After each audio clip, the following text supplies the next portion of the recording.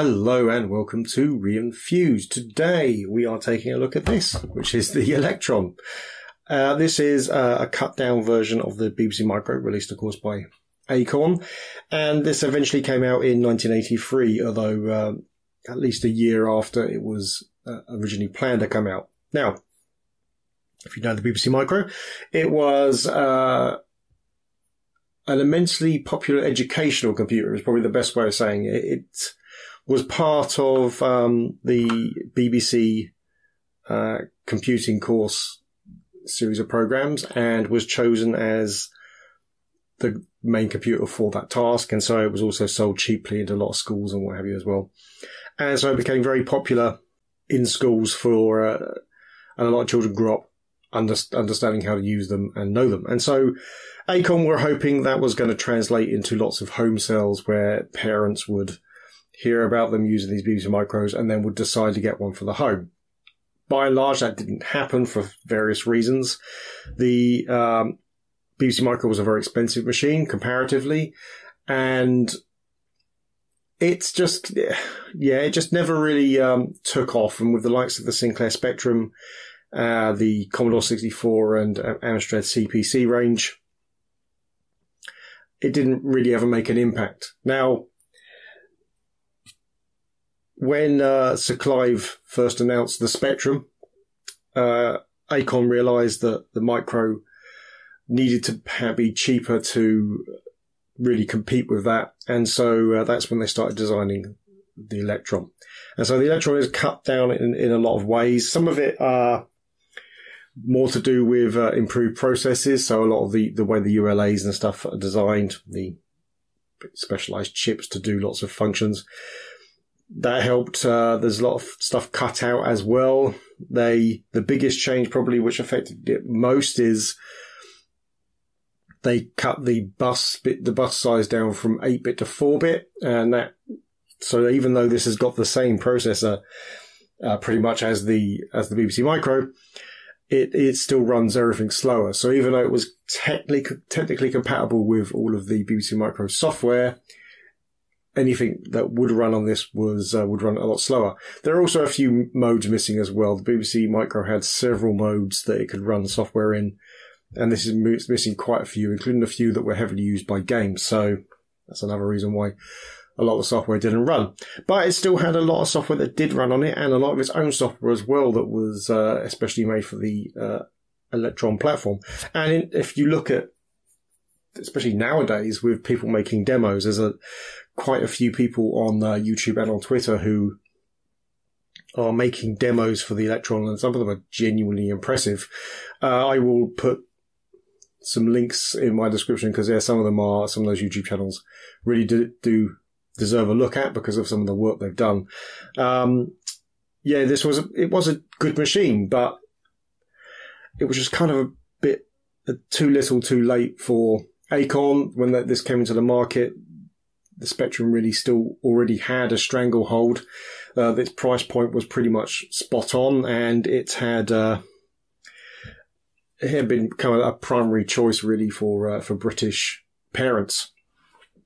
And uh, yeah, and that's ignoring when the Commodore 64 came over with already a fairly good uh, range of software and support from uh, its American release. Uh, so yeah, it's uh, with the price not being that much different, it really didn't stand a huge amount of a chance. Which is a shame. Like I say, it's not a terrible machine by any means. In fact, the BBC Micro is a very good machine as well, but again, price points.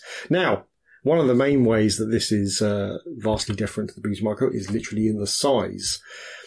This is uh, about, I'd say, pretty safe to say, less than half the size of a BBC Micro. It's more or less the same width, a little bit give or take, uh, but just vastly. I mean, the yeah, the Electron. Unfortunately, mine is buried, so I can't.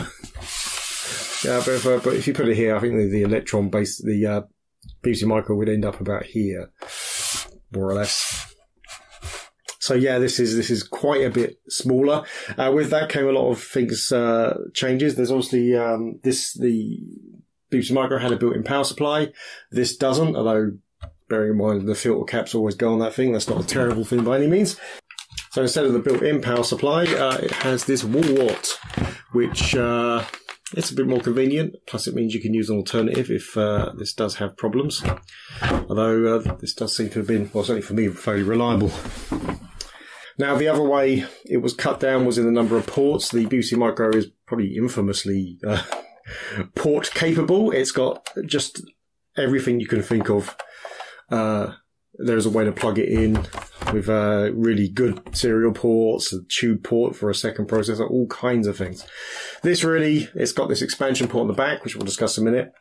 It's got the uh, cassette, RGB, uh, composite, and uh, a UHF so RF style uh, connector on the side, and obviously the power port is on that side, and that's really it. But that back expansion port did give some uh, benefits, and there are numerous add-ons that, will, that you can use. Uh, this is one of them. So this is the plus one, and this gives us well, a printer port, but also uh, an analog joystick port and two cartridge ports as well, which is really interesting. There was quite a bit of cartridge software available as well. Um, this guy, it goes in the back and then it's got two screws which go into these holes here and here, which uh, gives it really like a robust feel. And I don't generally take this off; it just feels like part of the unit when it's actually connected. Now this is yellowed quite a bit, as you can probably work out. If we look on the bottom, you can really see what the actual colour is. I think uh, it's a really good area where you can see the difference. Not unless you look at the corner on the, the rolling edge of that plastic and the white on the back, that's really where the difference is. So this why this was much closer to uh, a slightly off-white, an ivory white maybe, than uh, this browny, yellowy, almost nicotine colour this thing is now. Obviously, a uh, proper keyboard, just like the BBC Micro, which was a massive advantage over, well, should have been a massive advantage over the Spectrum, but again, um, as the Spectrum was mostly used for games and there were joystick ports available for it, uh, cart interfaces, it didn't really uh, make that huge amount of difference. But uh, yeah, well, I mean, I, I, I do like this. I probably prefer the BBC Micro just because I own one. But in terms of uh, 8-bit machines, this was a really good machine. It did have some good games, not enough, obviously, because the support just wasn't there.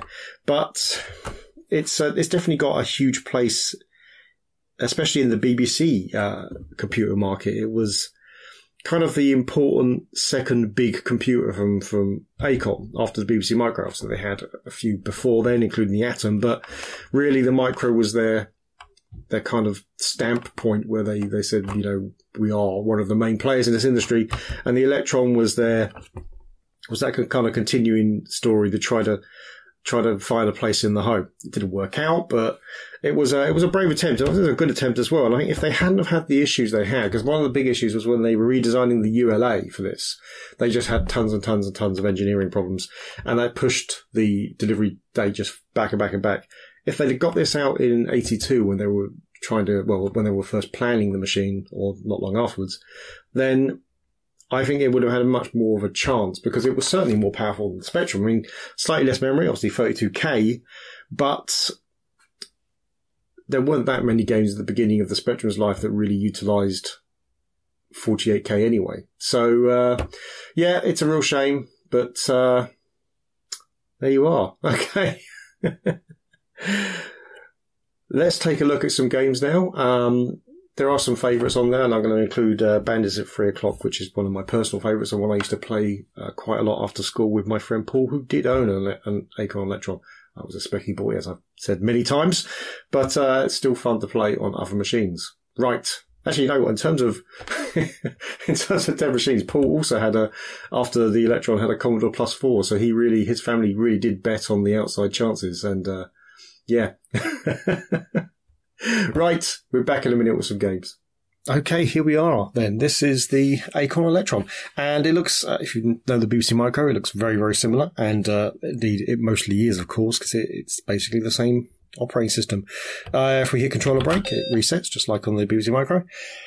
And yeah, our only real difference is our nice little uh, Electron uh, and our Acorn symbol there, which is uh, kind of nice. Load games from tape the same way using chain. Now, I, unfortunately, have no solid state solution for the Electron, so we are going to have to uh, load it old fashioned using actual, well, still tape images, but there will be no faster than loading it up using a tape drive. So this should be fun. Right, so load by doing a chain. There we go. And then if we start playing, there we go. I will, of course, fast forward past most of this. One thing, uh, the Electron, like many computers of its time, it, it, does have the ability to stop and start tapes, um, which obviously we don't get when we're running this through a laptop. So I have to remember to stop the tape whenever I hear it click. Anyway, we will fast forward past the loading. Okay, so nine minutes later, let's uh, see if we can actually play. Right, so we're there should be one player now. Yep, so now we get attacked by the bad guy.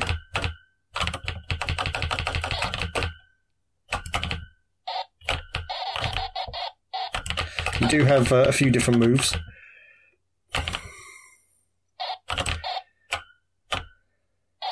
Oh, I don't remember how to do many of them. Oh, there's the rolling. You can do the rolling. There we go. Don't remember how to kick. And as you can see, the uh, we have kind of health bars at the top. I remember rightly, like on some of the versions, the snakes changed colour depending on how much energy you had left. Fortunately, the computer is very defensive, so you can't get the uh, decapitation moved. Oh, we did it! awesome. we decapitated the computer. Excellent. So here we are. We've now loaded up Bandits at three o'clock. And then this was indeed the game that me and my friend Paul used to play for hours, which um, is probably going to come as a surprise once you see it running. Now, uh, the sound for the Electron actually comes out of the actual Electron itself uh, through a speaker. So yeah, it's about to get quite noisy. I won't try to compete with it too much, but uh, yeah, yeah, you'll you'll hear the noise definitely. Right, so um, fairly simple uh, menu screen. We can get, change some of the stuff here, turn things on and off. I've set it to one player. If we push start now, it will actually go. Again, very very simple game. Uh, yeah, there's our scenery. the cloud, which you can hide in if you're trying to do. Uh, and the church in the middle. And if you just push the fire button, which is X, and then I, on my side, have A and Z to go up and down. Ooh. I've never really, I don't think I've played against a computer before on this. Oh, missed. I mean, you kind of get the point.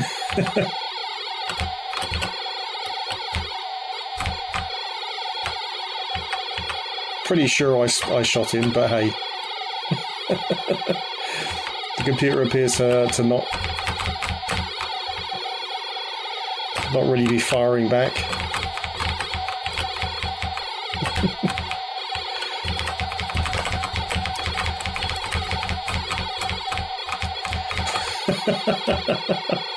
you definitely can hit them normally, so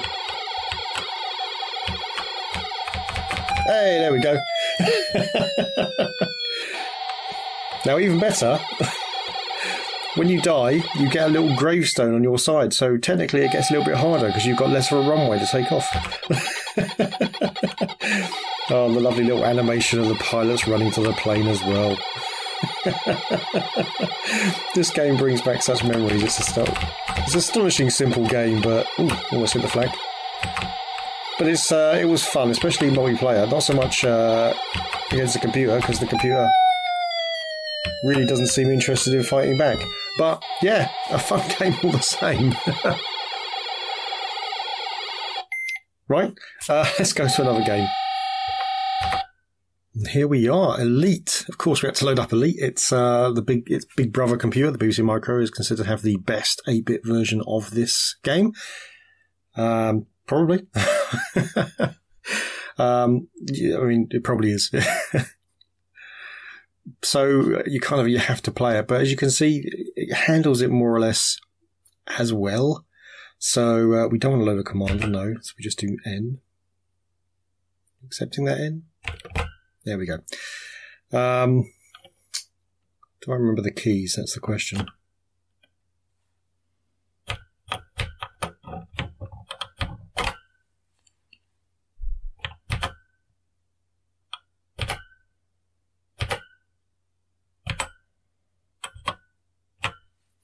Oh, there we go. We've got out. So, uh, the keys. What are the keys? Oh, there's fire.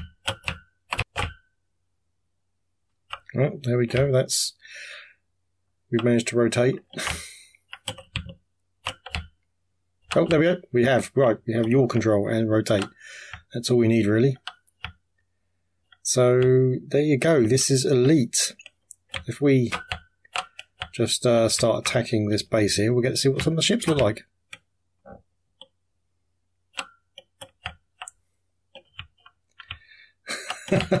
there you go. There's a bit of slowdown. Quite a bit of slowdown. but That's not too bad. Considering um, this, the speed difference between this and its big brother. That's not bad at all. so there you are. That's quite impressive, really. I I'm quite impressed by that. Right, so that's the Acorn Electron and some of its games. Uh, I really love the Electron; it's one of my favourite machines. Um, obviously, like I said, I kind of prefer its big brother for various reasons, not least the fact that I've got a, an SSD solution for it. But but this is still uh, a fantastic little machine, and it's so compact compared to its brother. Even with the uh, add-on on the back, it's still far smaller than its uh, big brother. takes up a lot less space. In fact, fits on my desk with the monitor, which is uh, always good.